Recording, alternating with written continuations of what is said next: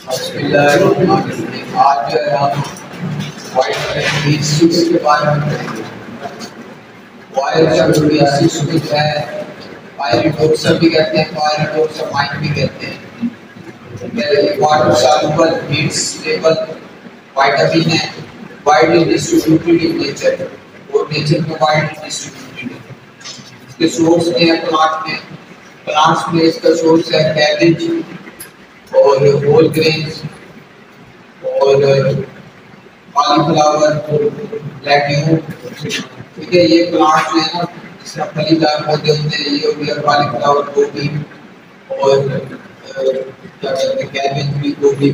ये चीज़ें जो है। इसका सोर्स है एनिमल पे याक फ़िश मीट और मिल्क जो है इसका सोर्स है। उसके बाद फ़ंक्शन और बायोकेमिकल रोल डीकार्बोक्सिलेशन ये विटामिन बी सिक्स जो है।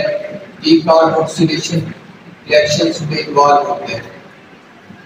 बाद ट्रांसमाइलेशन ट्रांसमाइलेशन ये विटामिन बी सिक्स जो ट्रांसमाइलेशन करता है। ऑक्सैलो एसिडेट प्लस ग्लूटामेट ये मिलके जो है, क्या कहते हैं पैरेट प्लस ग्लूकोग्लूटारेट देते हैं। उसके बाद deamination serine pyruvate plus ammonium ये देंगे उसे डेमिनेशन करेंगे उसके बाद कंडेंसेशन कंडेंसेशन में succinyl succinyl glycine succinyl OA और glycine methane delta amino levulinic acid ये देंगे बाद फैटी एसिड ये जो है vitamin B six fatty acid sensitive में भी जॉइन होता है।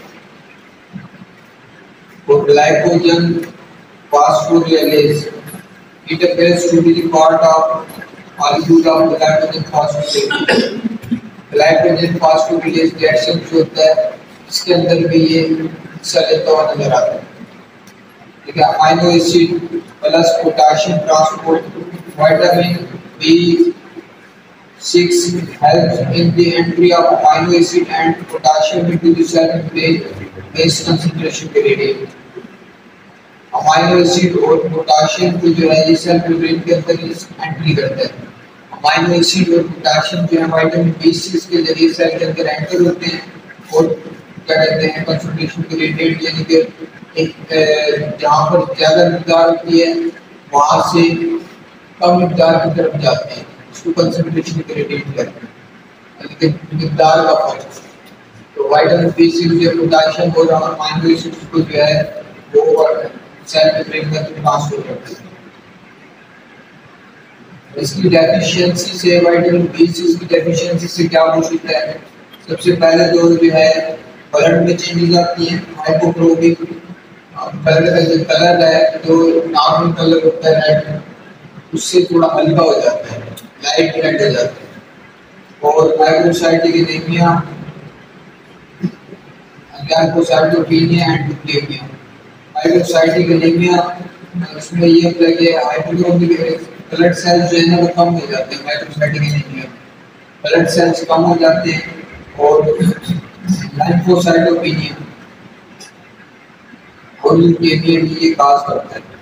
उसके बाद जीआईटी जीआईटी में ये क्या कहते हैं मैथ्यू स्टमक पे से डिस्टर्ब हो जाता है, और कन्वीनियंस जो है वो दौरे वगैरह बढ़ते हैं।